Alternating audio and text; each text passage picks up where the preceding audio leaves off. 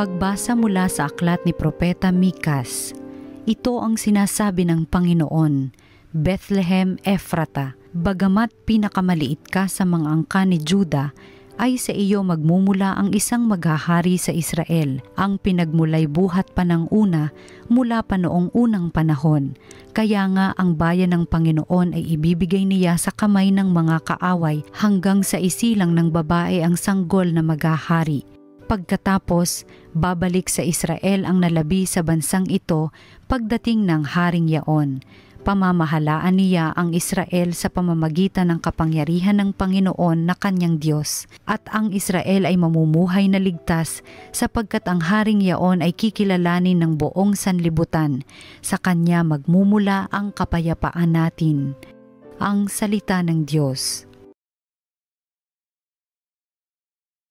Ang lubos kong kasiyahan ay magalak sa may kapal. Lubos akong nananalig sa pag-ibig mong matapat, nagagalak ang puso ko dahil sa iyong pagliligtas. Ang lubos kong kasiyahan ay magalak sa may kapal. Aawitan kita poon, aawitang buong galak, dahilan sa kabutihang sa akin ay iginawad. Ang lubos kong kasiyahan ay magalak sa may kapal ang mabuting balita ng Panginoon ayon kay San Mateo. Ganito ang pagkapanganak kay Heso Kristo.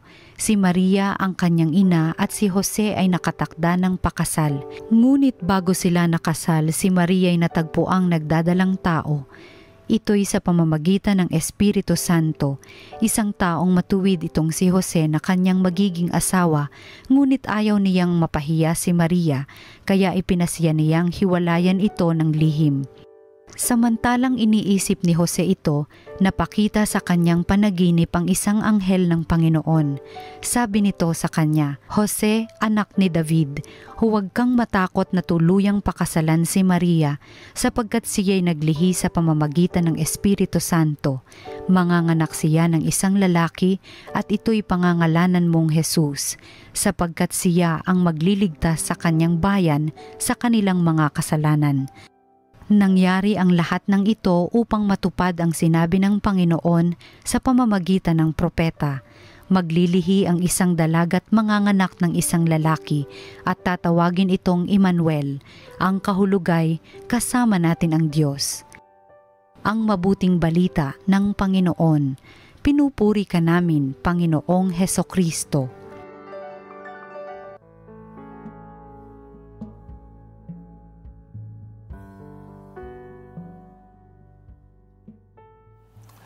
Happy birthday, Mama Mary!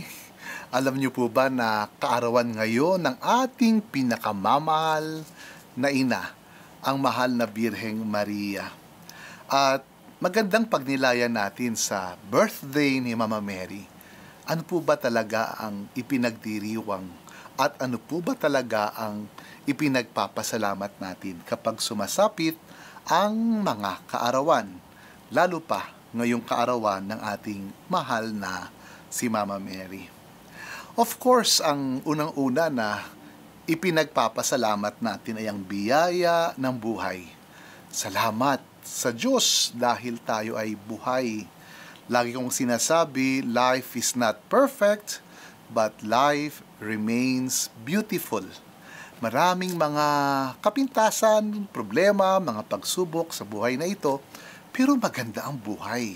Kaya ipinagdiriwang natin ang araw ng ating kapanganakan. No?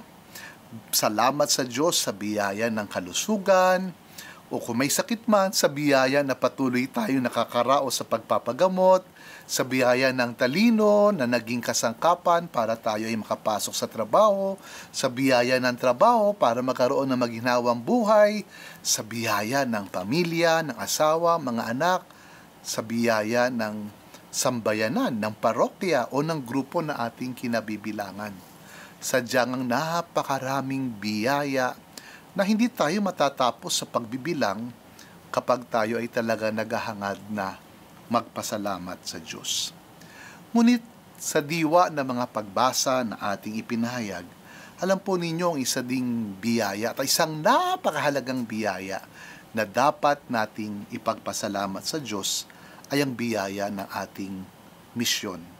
Ang biyaya na ang buhay natin ay may kahulugan na ang ating pagkasilang at ang ating pag-iral ay may dahilan na tayong lahat ay may bukasyon at sa atin ay ipinagkakatiwala ng Diyos ang mahalagang pananagutan o mahalagang mga pananagutan.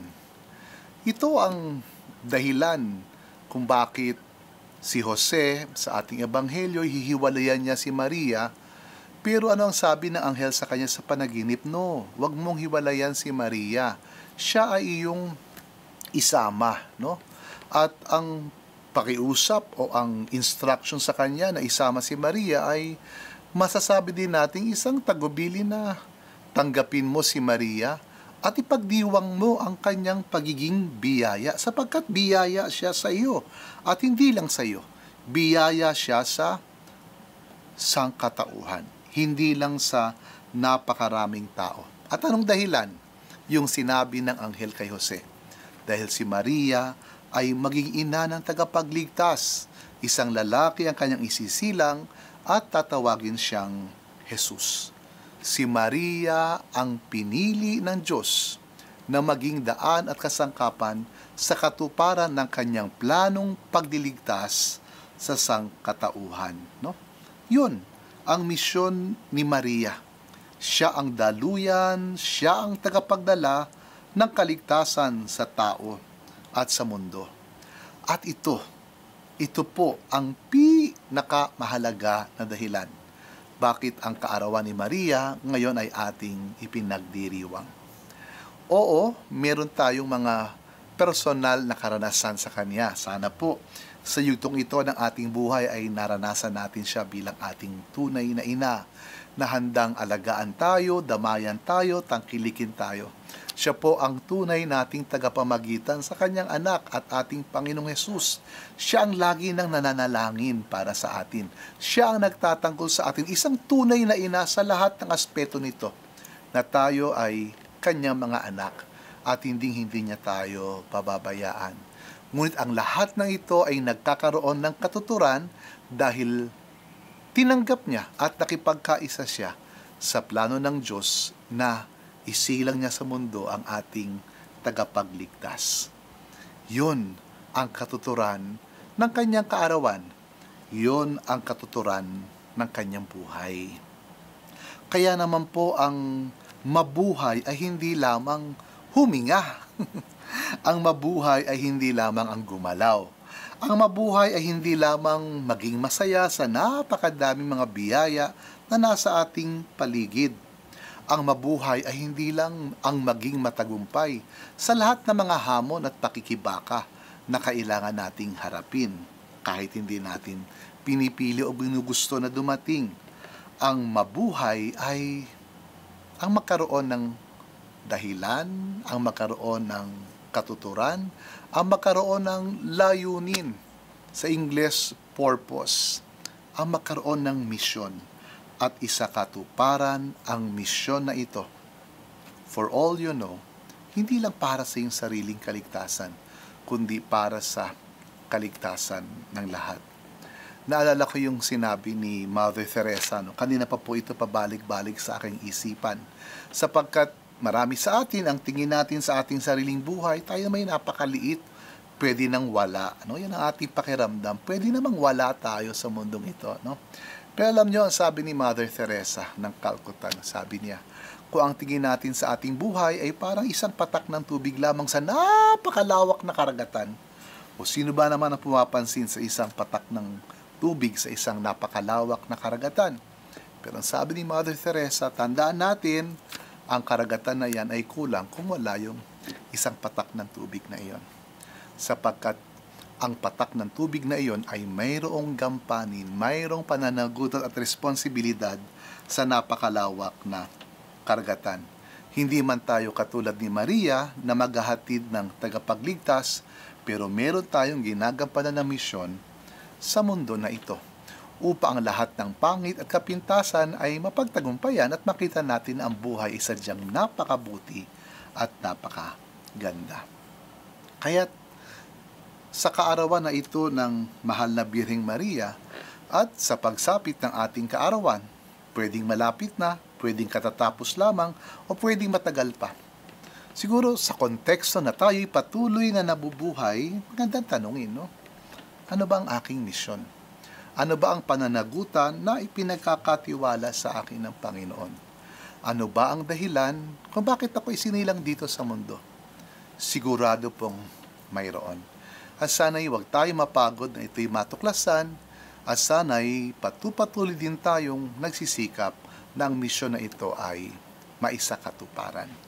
Ang mahal na Birhing Maria, ang kanyang kapanganakan ay biyaya sa sangkatauhan at ang kapanganakan nyo, pati kapanganakan ko.